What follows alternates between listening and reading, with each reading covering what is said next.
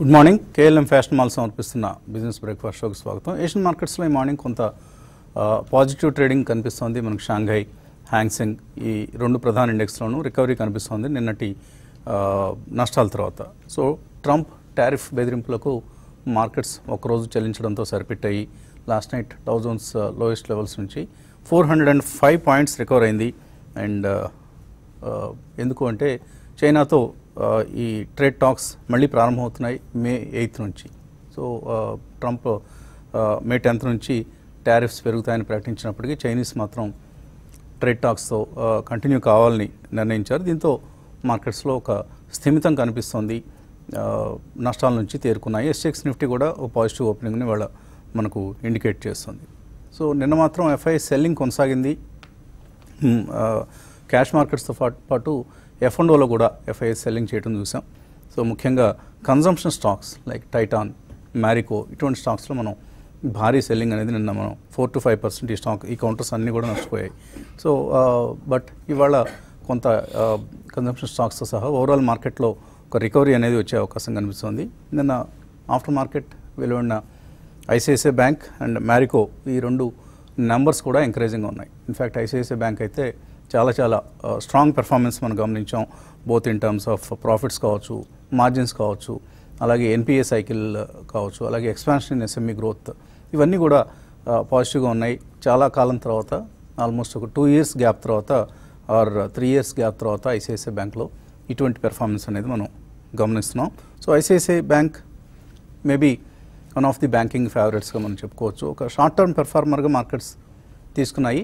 But now the story seems to be long term as well so next six months or twelve months time పీరియడ్లో ICICI బ్యాంక్కి ఒక రీ rating వచ్చే అవకాశం కూడా మనకు లేకపోలేదు. మొర్గన్ స్టాన్లీ అయితే ఏకంగా five hundred and thirty rupees stock target price టార్గెట్గా ఇస్తుంది. సో ఎన్ని రోజులన్నీ హెచ్డిఎఫ్సి బ్యాంక్ని కొంటూ వెళ్తారు? ఇన్స్టిట్యూషన్స్ కూడా కొంత ఒక రిలీఫ్ స్టాక్ కావాలి. So HDFC bank by the way May twenty సెకండ్న board meeting జరబోతున్నారు. దానిలో వన్ రూపీకి ఫేస్ వాల్యూని తగ్గించాలని. ఎందుకంటే ఇప్పటికే స్టాక్ ఓవర్ ప్రైస్డ్గా ఉండి చాలామంది రిటైల్ వాళ్ళు ఎస్పెషల్లీ పార్టిసిపేట్ చేయలేని పరిస్థితి కనిపిస్తుంది. సో ఈ నేపథ్యంలో రెండు రూపాయల ఫేస్ వాల్యూని వన్ రూపీకి తగ్గించాలని నిర్ణయించారు. అండ్ ఎవరైనా బ్యాంకింగ్ పోర్ట్ఫోలియోలో ఒకటి కన్స్ట్రక్ట్ చేసుకోవాలి అంటే టాప్ పెర్ఫార్మర్గా ఎవరైనా హెచ్డిఎఫ్సి బ్యాంక్నే సెలెక్ట్ చేసుకుంటారు. ఫాలోడ్ బై మేబీ ఇప్పుడు మనకు కనిపిస్తున్న choices ICICI bank Axis bank Kotak bank anyway is again star performer in the recent past అలాగే ఆఫ్ కోర్స్ ఎస్బీఐ మనకు ఎస్ బ్యాంక్ ఒక టైంలో టాప్ పెర్ఫార్మర్గా ఉండేది one of the top performing స్టాక్స్గా ఇప్పుడు అది బికాస్ ఆఫ్ గవర్నెన్స్ ఇష్యూస్ కావచ్చు NPS restructuring కావచ్చు ఇవన్నీ ఆ కౌంటర్ మీద ఒకప్పుడు seventh top seven most valued బ్యాంక్గా ఉన్న ఎస్ బ్యాంక్ ఇప్పుడు టాప్ టెన్కి పడిపోయింది. సో అంటే మనకు వరుసగా మార్కెట్ క్యాప్ దృష్ట్యా చూస్తే హెచ్డిఎఫ్సి బ్యాంక్ తర్వాత ఎస్బీఐ తర్వాత Kotak bank ICICI bank Axis IndusInd bank and Bandhan bank one of the best performing banks in the recent times Baroda తర్వాత ఎస్ బ్యాంక్ ఉండడం అనేది చూస్తున్నాం. సో మనకు ఎప్పటికప్పుడు పొజిషన్స్ తారుమారు అవుతూ ఉంటాయి.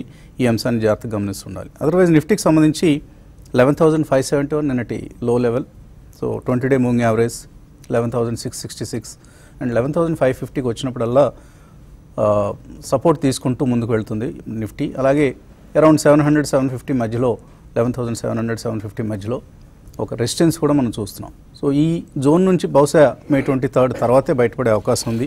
ఎందుకంటే అందరూ కూడా ఇప్పుడు ఎదురు చూస్తోంది నరేంద్ర మోడీ ఆర్ బీజేపీ ప్రభుత్వం ఏ మెజారిటీతో ఫామ్ అవుతుంది. బీజేపీ అధికారంలోకి రావడం ఖాయం. Markets నమ్ముతున్నాయి if not the political analyst. But markets అయితే బీజేపీ రావడం ఖాయం కాకపోతే ఎంత మెజారిటీతో? మిత్రపక్షాల మద్దతుతో ప్రభుత్వం ఏర్పడుతుందా? లేకపోతే అటువంటి మద్దతు అవసరం లేకుండానే ప్రభుత్వం ఏర్పడుతుందా అనేది అందరూ ఆసక్తిగా ఎదురు చూస్తున్న అంశం. సో ఈ నేపథ్యంలో మార్కెట్స్ రేంజ్ బౌండ్గా టిల్ ట్వంటీ థర్డ్ ట్రేడ్ అయ్యే అవకాశాలు కనిపిస్తున్నాయి. సో మన ఎనలిస్ట్ ఏమంటున్నారో అడిగి తెలుసుకుందాం. సో ఎఫ్ఐ సెల్లింగ్ మనం కంటిన్యూ అవుతోంది. Maybe they are taking profits before the D day that is May twenty third so ఈలోగా ఇన్వెస్టర్స్ ఏం చేయాలి? అది కూడా చాలా కొన్ని కౌంటర్స్ అండి మీరు అన్నట్టు ఫ్రంట్ లైన్ కౌంటర్సే మనకి ఈసారి ఇండెక్స్ లెడ్ చేసాయి లీడ్ చేసాయి. And same front line కౌంటర్స్లోనే there can be some selling retail participation అనేది మిడ్ అండ్ స్మాల్ క్యాప్లో కూడా అంతగా మనకు కనిపించలేదు so top fifteen to twenty షేర్స్లోనూ FIs buying అని సెల్లింగ్ అని కనిపిస్తుంది కాబట్టి రీటైలర్స్ ఏం చేయాలి? ఒకవేళ ఏదైనా ఎక్కువ బల్క్ మనీ కమిట్ చేసి మార్కెట్లో స్టాక్స్ కొనుక్కోవాలంటే మాత్రం తప్పకుండా వెయిట్ చేయమని చెప్తాను. కానీ ఈ లోపల రాబోయే టెన్ ఫిఫ్టీన్ డేస్ లోపల కూడా వచ్చే అవకాశాన్ని మాత్రం మంచి స్టాక్స్ అయితే మాత్రం ఫస్ట్ ప్రైస్ పాయింట్లో ఎక్కడన్నా ఆపర్చునిటీ వస్తే మాత్రం కొనాలండి. ఎందుకంటే మనకి ఎక్కడైతే మనకి external as well as domestic cues ఎప్పుడైతే నెగిటివ్ ఉంటాయో అప్పుడే మనకి కొద్దిగా ఆపర్చునిటీ దొరుకుతుంది స్టాక్స్ కొనడానికి. Overall next two three years market irrespective of politics కొద్దిగా బాగానే ఉంటుంది. ఇక్కడి నుంచి అనే ఆశాభావం అందరూ వ్యక్తం చేస్తున్నారు కాబట్టి నా ఉద్దేశంలో దే షుడ్ స్టార్ట్ బయింగ్ ఇందాక మీరు మెన్షన్ చేశారు. ఇప్పుడు హెచ్డిఎఫ్సి బ్యాంక్ వాళ్ళు స్ప్లిట్ చేస్తే అది మళ్ళీ ఏనో అరౌండ్ ట్వంటీ త్రీ హండ్రెడ్ నుంచి it will go down to one two shares for every one share అన్నారు కాబట్టి around thousand to eleven hundred so అటువంటప్పుడు అది ఐసిఐసిఐ బ్యాంక్ యాక్సిస్ బ్యాంక్ ఇట్లా పోర్ట్ఫోలియో క్రియేషన్గా ఒక త్రీ టు ఫైవ్ సెక్టర్స్ తీసుకుని one or two quality stocks build చేసుకోవచ్చండి. అలాగే మిడ్ అండ్ స్మాల్ క్యాప్ స్టాక్స్లో కూడా తప్పకుండా లాస్ట్ వన్ ఇయర్లో మంచి stocks almost thirty to forty percent పైన పడ్డాయి. సో అటువంటి స్టాక్స్లో ఒక టెన్ ఫిఫ్టీన్ పర్సెంట్ పెరిగినా మనకి ప్రాబ్లం ఏం లేదు. అరే పెరిగిపోయిందే మళ్ళీ వెయిట్ చేద్దాం సో ఒక్కొక్కసారి ఆపర్చునిటీ రాకపోవచ్చు. So buy during this weakness రాబోయే టూ త్రీ వీక్స్లో కూడా ఫస్ట్ ప్రైస్ పాయింట్లో కొనండి. దాని తర్వాత మనకి ఎలక్షన్ రిజల్ట్స్ వచ్చిన తర్వాత ఇన్ కేస్ ఏదైనా మార్కెట్లో మేజర్ వీక్నెస్ కనిపిస్తే సెకండ్ ప్రైస్ పాయింట్లో కూడా కొనొచ్చు. టూ త్రీ ప్రైస్ పాయింట్స్లో కొనమనే చెప్తున్నాం. We should definitely buy the stocks ఎందుకంటే రాబోయే టూ త్రీ ఇయర్స్లో irrespective of politics good companies మంచి కంపెనీస్ ఏవైతే corporate governance issues debt levels తక్కువ ఉండి ప్రామిసింగ్ ఇండస్ట్రీలో ఉన్నారో they will definitely give extraordinary returns to shareholders అనే చెప్పచ్చు. So start buying slowly start in a staggered manner ట్రేడర్స్కి ఎటువంటి అడ్వైజ్ ఇస్తున్నారు? వాటి మేబీ ఓపెనింగ్ ట్రేడ్లో ఎటువంటి పొజిషన్స్ తీసుకోవచ్చు? చూడండి ఓపెనింగ్ పరంగా మనకు కొంచెం పాజిటివ్గా ఓపెన్ కావచ్చు. అయితే నిన్నటి సెల్లింగ్ మనం చూసామండి హెవీ సెల్లింగ్ అనేది చూసాం. అయితే మన మార్కెట్ గ్లోబల్గా ఏషియన్ మార్కెట్స్తో కంపేర్ చేసుకుంటే కొంచెం అవుట్ పర్ఫామ్ చేసింది అయితే ఈ లెవెల్లో కొంత బయింగ్ వెళ్ళడానికి అనుకూలంగా కొన్ని స్టాక్స్ ఉన్నాయి. అయితే మనకు చూస్తున్నాం ఇండెక్స్లో కొన్ని కొన్ని స్టాక్స్ మాత్రమే పెరుగుతున్నాయి. మిగతా చాలా స్టాక్స్ అన్ని కూడా ఎఫ్ఎండ్ఓలో కూడా ఎక్కువ కొంత వీక్నెస్ అయి ఉంది. కాబట్టి బయింగ్ వెళ్ళాలి అనుకుంటే ఆర్ఐఎల్ రిలయన్స్ ఇండస్ట్రీస్ని ఒకటి పొజిషనల్ ట్రేడర్స్ ఎవరి డిప్లో కూడా బై చేయమంటాను. ఈ దీనికి కానీ చూసుకుంటే థర్టీన్ సెవెంటీ టూ ఆ లెవెల్లో బాగా సపోర్ట్ అనేది ఉంది థర్టీన్ సెవెంటీ క్లోజర్గా కాబట్టి నేను కొంచెం కరెక్ట్ అయింది ప్రాఫిట్ బుకింగ్ వచ్చింది. మళ్ళీ ఈరోజు కొంచెం ఏమన్నా కరెక్ట్ అయితే బై చేసుకోమంటాను. లే- లేదా థర్టీన్ ఎయిటీ పైన ఉంటే సస్టైన్ అయితే బై చేసుకోమని చెప్తాను. తర్వాత ఇంకొక బ్యాంక్ విషయానికి ఇంకొక స్టాక్ విషయానికి వస్తే హెచ్డిఎఫ్సి బ్యాంక్ అండి. నిన్న రిజల్ట్ తర్వాత మంచి ర్యాలీ వచ్చింది. నిన్న ప్రాఫిట్ బుకింగ్ కనపడింది. ఈ రోజు కూడా కొంచెం ప్రాఫిట్ బుకింగ్ కనపడినా కూడా ఈ స్టాక్ మళ్ళీ బౌన్స్ బ్యాక్ అయ్యే అవకాశాలు ఉన్నాయి. దీన్ని కూడా పొజిషన్ ట్రేడర్స్ ఎవరి డిప్పులో కూడా ఇది ఓన్లీ పొజిషన్ ట్రేడింగ్ కోసమే చెప్తున్నాను. ఎవరి డిప్పులో కూడా బై అని చెప్తాను. తర్వాత ఇంట్రాడే పరంగా చూడాలంటే ఎల్ఎన్టీ ఫైనాన్స్ ఒకటి అంటే ఇది రీసెంట్గా రిజల్ట్ తర్వాత స్టాక్ బాగా హెవీ కరెక్ట్ అయ్యి ఓవర్ సోన్లో ఉంది.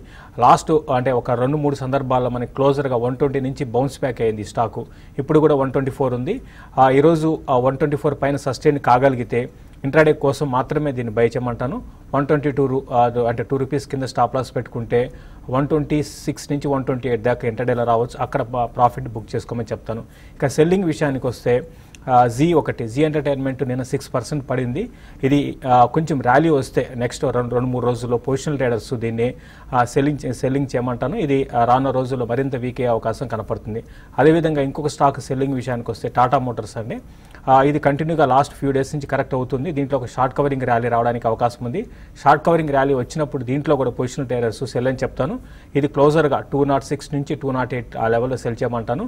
మళ్ళీ డౌన్ సైడ్గా చూసుకుంటే ఇది one ninety two and one eighty eight లెవెల్స్ని టెస్ట్ చేసే అవకాశం ఉంది. ఇక బ్యాంక్ నిఫ్టీ అంటే ఈరోజు ఐసిఐసిఐ బ్యాంక్ చాలా ఇంట్రెస్టింగ్ ఉంటుందండి.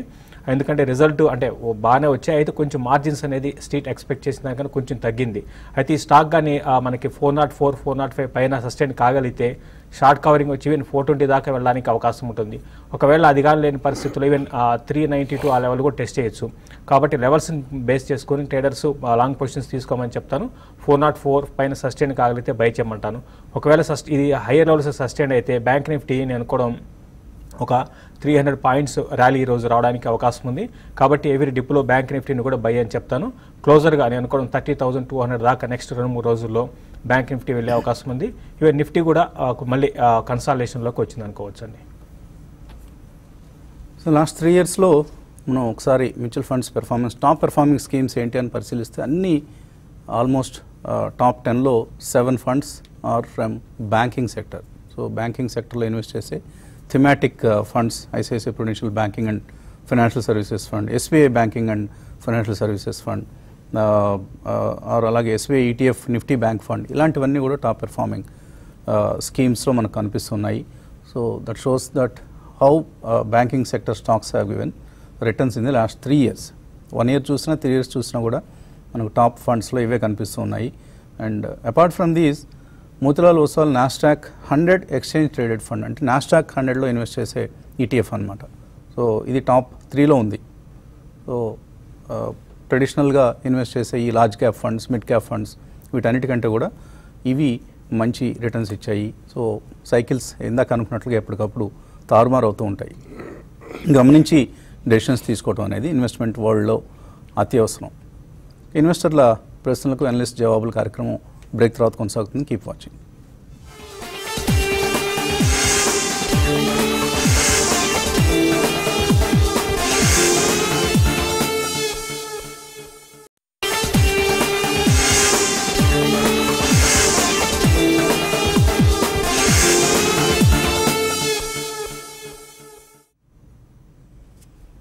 KLM fashion mall సమర్పిస్తున్న బిజినెస్ బ్రేక్ఫాస్ట్ షోకి తిరిగి స్వాగతం.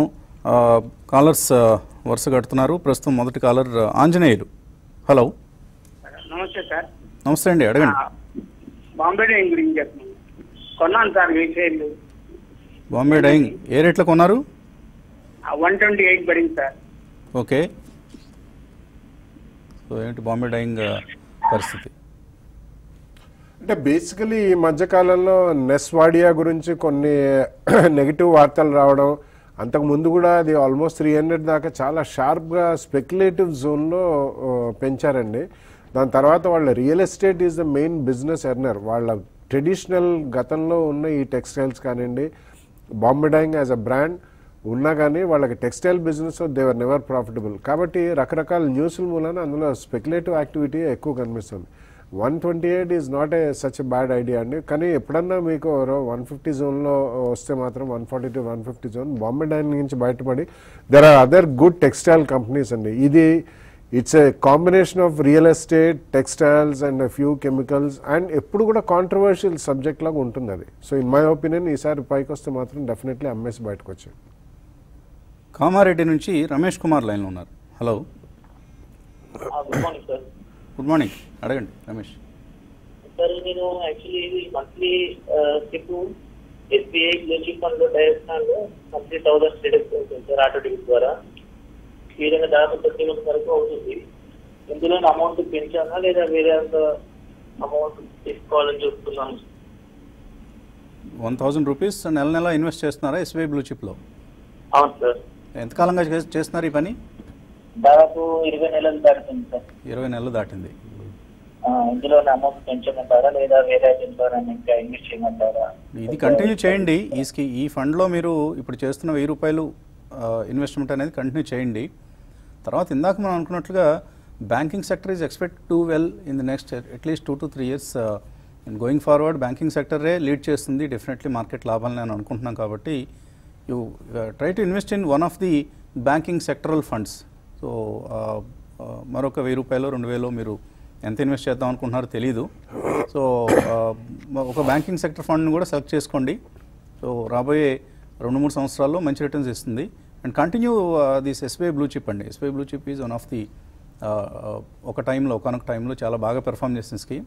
రేపు మళ్ళీ ఈ రికవరీ ఎప్పుడైతే మార్కెట్స్లో వస్తుందో అప్పుడు ఈ ఫండ్ కూడా మంచి రిటర్న్ తర్వాత ఆంజనేయులు హైదరాబాద్ నుంచి ఈసారి. Hello. Good morning sir. Good morning. అడగండి. సార్ అశోక్ లేలాండ్ గురించి అశోక్ లేలాండ్. బై చేశాను సార్. అది హోల్డ్ చేయమంటారా? ఏమండి? కొంచెం బిగ్గరగా గట్టిగా మాట్లాడండి. సార్ అశోక్ లేలాండ్ బై చేశాను సార్ వన్ ట్వంటీ మీద. ఆ. అది బై హోల్డ్ చేయమంటారా సార్? ఏంటి ట్రేడింగ్ కోసం కొన్నారా? అవును సార్. రైట్ ఓవరాల్గా ఆటో ప్యాక్ అనేది చాలా వీక్ ఉన్నాయండి. అన్ని కూడా ఫిఫ్టీ టూ వీక్ లోస్కి దగ్గరే మనకి ఓవర్ కావడం చూస్తున్నాము. అశోక్ లేలాండ్ కూడా వీక్గానే ఉంది. అటు సేల్స్ పరంగా మంత్లీ సేల్స్ చాలా వీక్గా ఉన్నాయి.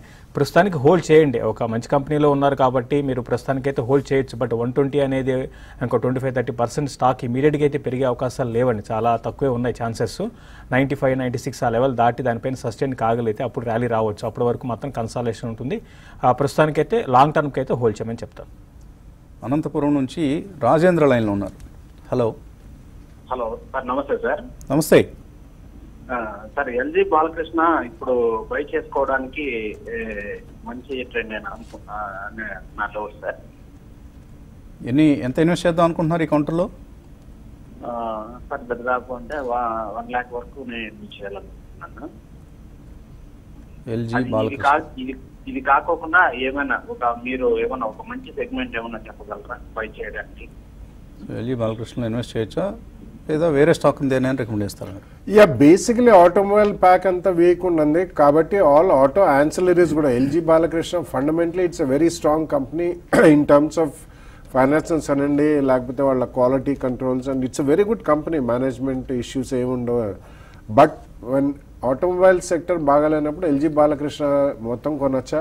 ఒకవేళ వేరే స్టాక్స్ ఏవి లేకుండా మీరు ఇది ఒకటే కొనదలుచుకుంటే మాత్రం నా ఉద్దేశంలో కొద్దిగా వెయిట్ చేయాలండి నెంబర్ వన్ నెంబర్ టూ లేకపోతే కొద్దిగా ఎల్జీ బాలకృష్ణ కొనండి.